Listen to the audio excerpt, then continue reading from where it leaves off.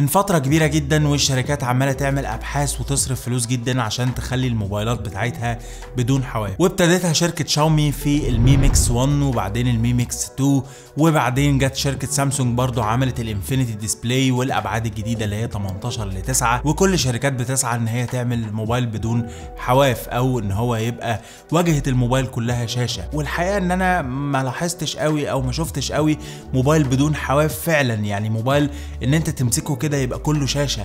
يعني بمعنى إن الآيفون X لما نزل كان فعلا اللي تحت أو الحافة اللي تحت كانت مفيش خالص حافة تحت. ولكن كان في مشكلة ال notch ودخل علينا الترند بتاع ال notch الجديد ده. وكل الشركات للأسف راحت ورا الآيفون وبقت تعمل حتة ال notch دي. وكمان مش بس كده ده كان في أصلا bezel تحت أو حافة تحت الموبايل مع ال notch. فاللي هو أنت ما عملتش أي حاجة. ولكن أوبو جت في شهر سبعة اللي فات ده كسرت القواعد بتاعه ال notch وكسرت القواعد بتاعه الحواف بشكل عام ونزلت موبايل اسمه ال Find X بخلاف إن الموبايل اللي اسمه Find X ده جاي بأعلى إمكانيات في الدنيا فهو جاي بمعالج Snapdragon 845 رامات بسعة 8 جيجا. النسخة اللي معايا هنا بتيجي بذاكرة داخلية 256 جيجا. بطارية كبيرة شحن سريع بتقنية جديدة هنتكلم عنها. بخلاف طبعا كل اللي أنا قلته ده إن هو موبايل رائد وموبايل flagship وكل ده على عيننا وعلى راسنا ولكن بصوا كده على وش الجهاز. فعلا ده أول موبايل أشوفه بدون حواف نهائي. مفيش غير حافة صغيرة جدا جدا من تحت ما تبانش أصلا يعني أصغر من أصغر حافة في الأندرويد اللي أنا شفتها تقريبا كانت في ال OnePlus 6 دي أصغر منها بكتير يعني نص ال OnePlus 6 أو ربع كمان بتاعة ال OnePlus 6 فأصبح إن إحنا عندنا دلوقتي موبايل بدون حواف نهائي. تقريبا نسبة حجم الشاشة لحجم الموبايل هنا بتوصل ل 95% يعني 95% من واجهة الموبايل كلها شاشة وال 5% اللي باقي دي حافة الموبايل. كمان عشان يخلوها bezel-less فعلا أو عشان يخلوها بدون حواف فالشاشة هنا جت curved أو منحنية الأطراف. زي ما شفنا في موبايلات سامسونج من أول تقريبا ال S6 Edge وال S7 والكلام ده كله. فالشاشة هنا جاية بنفس الفكرة بالظبط عشان تديك إحساس إن أنت ماسك فعلا كله شاشة. يعني مش بس الموبايل هنا بدون حواف لا ده كمان جاي curved عشان يديك الإحساس إن أنت ماسك فعلا موبايل كله شاشة. الشاشة هنا بتيجي بحجم 6.4 بوصة بدقة Full HD Plus أنا كنت الحقيقة أتمنى إن هي تبقى بدقة Quad HD ولكن نوع الشاشة أو نوع ال panel نفسها فهي جاية من نوع AMOLED كمان. فادتني الحقيقة يعني أنا طول فترة استخدامي للجهاز أنا كل اللي بعمله إن أنا بغير ال wallpaper بتاعت الجهاز وببص على الشاشة. يعني أنا طول النهار أبص على الشاشة أفتح الموبايل كده أبص على الشاشة. أنا ماسك فعلا أكني ماسك شاشة بس في إيدي يعني أكني ماسك شاشة موبايل كده بدون حواف بدون frame بدون أي حاجة في ايدي فالحقيقة تجربة فريدة جدا. أنا أول مرة أمسك موبايل بدون حواف. للي يعرفني أو متابعني من زمان أنا أول واحد تقريبا جايب ال Mi Mix 1 من شاومي عشان هو كان بدون حواف فعلا من فوق ولكن كان جايب الحافة الكبيرة قوي من تحت. ولكن هنا ال Oppo Find X جاي بدون حواف نهائي. المهم إن الشاشة جاية زي ما قلنا إن هي من نوع AMOLED مش من نوع IPS فده بيديها contrast ألوان وتباين ألوان رهيب جدا طبعا كعاده شاشات ال AMOLED طبعا. كمان عشان يعملوا أصلا الشاشة بالحجم ده أو بالحواف دي فما لقوش طبعا مكان يحطوا الكاميرا الأمامية. ف Oppo عملت حاجة جديدة جدا هنا وإن الكاميرات اللي ورا واللي قدام بتطلع بموتور لما تفتح تطبيق الكاميرا أو لما الموبايل يعوزهم. بحيث مثلا إن الموبايل هنا جاي بمستشعر IR عشان يفتح ببصمة وشك لأن الموبايل جاي للأسف من غير بصمة صباع وده اللي هتكلم فيه برضه بعدين. فمجرد بس إن أنت تدوس على زرار ال lock وتعمل slide عشان يفتح الجهاز تلاقي جزء الكاميرات ده راح طلع بموتور يشوف وشك وأول ما يشوف وشك يفتح الجهاز ويروح نازل تاني.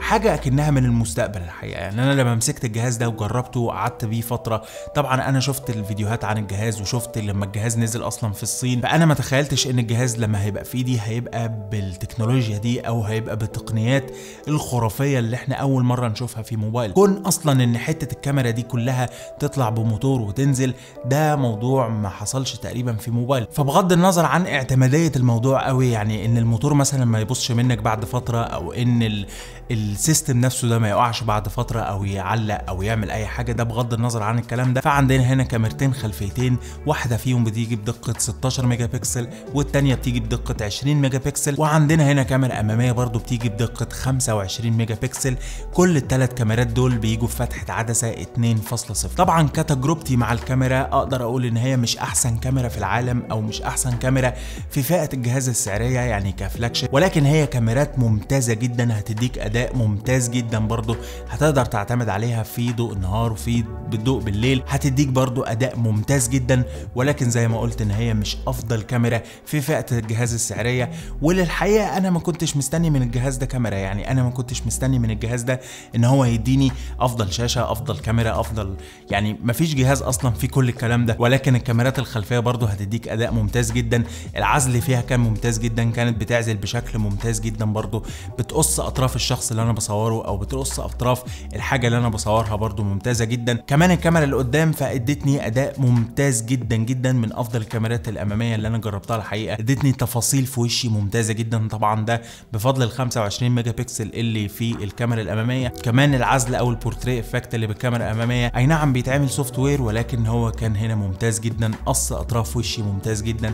ما لاحظتش إن أنا ودني مقصوصة مثلا أو ما لاحظتش حاجة غريبة قوي في الصورة. فأنا الحقيقة الكاميرات دي ممتازة جدا على الموبايل. يعني هي زي ما قلت إن هي مش أفضل كاميرات في الدنيا ولكن برضو زي ما قلت إن هي بتقضي احتياجاتي للموبايل. زي ما قلت إن في حتة الكاميرات اللي بتطلع وتنزل دي أنا مش شايف فيها الحقيقة أو مش قادر أستوعب إزاي إن هي هتعيش سنة سنتين ثلاث سنين مع الموبايل من غير ما تبوظ لأن في موتور وتروس وحاجات جوه بتطلعها وتدخلها ومش بس هتستخدم الحتة دي لما تفتح تطبيق الكاميرا لأ ده كمان أنت هتستخدمها لما تيجي تفتح الجهاز ببصمة وشك. لأن ال Oppo ال Find X للأسف زي ما أنا قلت إن هو ما بيجيش ببصمة أو ما بيجيش بمستشعر بصمة ولكن هنا جاي بمستشعر IR مخصوص لبصمة الوش. وللحقيقه المستشعر نفسه بيشتغل سريع جدا ولكن حركة الكاميرا فوق وتحت كانت بتاخد تقريبا ثانية على بال ما أفتح زرار ال lock و slide كده على الشاشة ويطلع الكاميرا وبعدين تلقط وشي وبعدين تنزل تاني تفتح الموبايل. فالعملية دي كانت بتاخد ثانية أو ثانيتين فأنا كنت أفضل الحقيقة إن هم يحطوا مستشعر بصمة ولكن ده اللي موجود واللي هو بس بيسمح لك إن أنت تستخدم بصمة الوش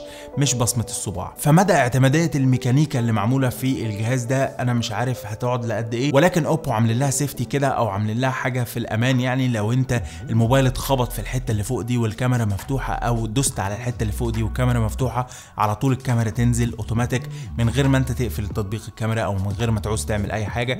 فدي الحقيقة طمنتني شوية. كمان مفيش لمبة إشعارات في الموبايل ده لأن أصلا مفيش مكان يحط لمبة إشعارات في الموبايل ده. ففي حركة الحقيقة عجبتني جدا وأنا كنت لازم أقولها لكم واللي هي أطراف الشاشة بتنور كده ألوان غريبة جدا لما بيجي لك إشعار الحقيقة حركة في ال software عجبتني جدا جدا وإدت الموبايل طعم مختلف كده الصراحة وأنت حاطه على الترابيزة مثلا وجاي لك notification فبتطلع الألوان دي الحقيقة في الشاشة. كمان الموبايل مش بس جاي بالتقنيات دي فزي ما قلنا في أول الفيديو إن هو جاي بالمعالج Snapdragon 845 أقوى معالج من Snapdragon كمان جاي برامات بسعه 8 جيجا ودي طبعا أعلى رامات موجودة في موبايل Android لغاية دلوقتي. جاي بذاكره داخلية سعه 128 جيجا أو 256 جيجا. زي النسخة اللي معايا هنا وجايب Android Oreo وأعلى إصدار للواجهة المستخدم بتاعت Oppo اللي هي ال ColorOS 5 الحقيقة ال software بتاع Oppo أنا ما بيعجبنيش قوي بحيث إن في حاجات متشالة منه أو في خصائص كتير قوي متشالة منه زي إن مثلا إن أنا قعدت 3 ساعات أدور إن أنا ألاقي screen on time أو ألاقي وقت عمل الشاشة عشان أشوف البطارية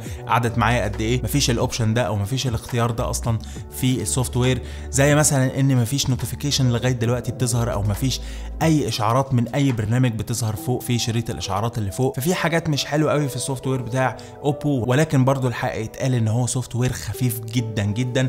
هتاخد أفضل أداء من المعالج الحقيقة بفضل ال software اللي هو خفيف جدا ما فيهوش أي إضافات أو برامج محملة قبل كده أو ألعاب محملة قبل كده ما فيهوش أي حاجة. فهتاخد أفضل أداء طبعا ده بفضل ال 8 جيجا RAM اللي موجودين في الجهاز وبفضل برضو الذاكرة الداخلية ال 256 جيجا في النسخة اللي معايا هنا. فما لقيتش في ادائه أي مشكلة بس لقيت مشاكل في ال software اللي أنا قلتها دي. كمان النسخة اللي معايا هنا بتيجي ببطارية بسعه 3750 ملي أمبير واللي هي بتدعم تقنية الشحن السريع اللي هي بتاعت أوبو الجديدة اللي هي اسمها VOOC Charge. ال Oppo ال Find X جاي بنسختين نسخة نازلة بال VOOC Charge ونسخة تانية نازلة بال Super VOOC Charge. الفرق ما بينهم إن النسخة العادية اللي هي معايا اللي نازلة بال VOOC Charge بتيجي ببطارية بسعه 3750 ملي أمبير وبتشحن من 0 ل 100 تقريبا في ساعة ونص. ولكن النسخة التانية اللي هي Super VOOC Charge بتشحن من 0 ل 100 في نص ساعة. وده أسرع شحن موبايل تاخده في حياتك. برضو خلينا نقول إن النسخة الثانية اللي بتشحن بالشحن السريع الخرافي ده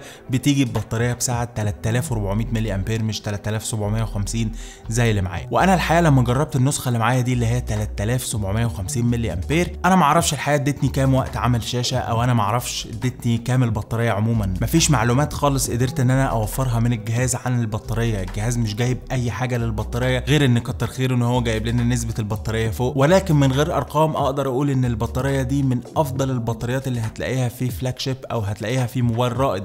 لأن الموبايلات الرائدة زي ما إحنا عارفين إن هي بتيجي بأفضل الامكانيات ولكن بينسوا البطارية. أنا معرفش ليه. ولكن الموبايل ده أقدر أقول إن هو فيه أفضل بطارية تقدر تستخدمها في فلاج شيب البطارية تقريبا أنا بستخدمها من الساعة 9 الصبح متواصل تقريبا ما وقفتش غير ساعة أو ساعتين لغاية دلوقتي الساعة 12 بالليل البطارية فاضل منها 8% فدي حاجة ممتازة جدا إن أنت تقعد من الساعة 9 الصبح لغاية الساعة 12 بالليل والموبايل لسه فيه شحن وأنا بستخدم الموبايل أنا مش بسيبه فمش هتلاقي أي مشاكل خالص في استخدام البطارية في الموبايل ده. كمان الشحن زي ما قلنا إن هو بيشحن من 0 ل 100 في ساعة ونص.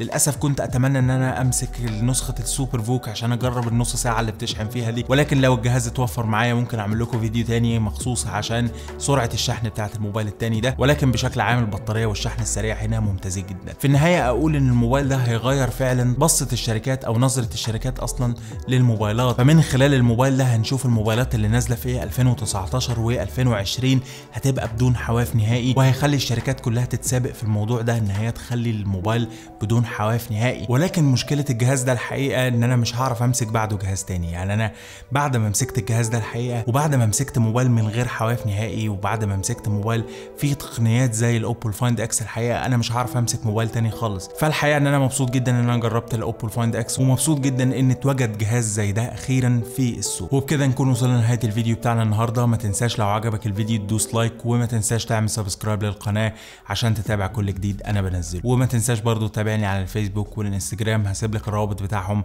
في صندوق الوصف. كان معكم محمد سامي أشوفكم في فيديو جديد إن شاء الله. السلام عليكم.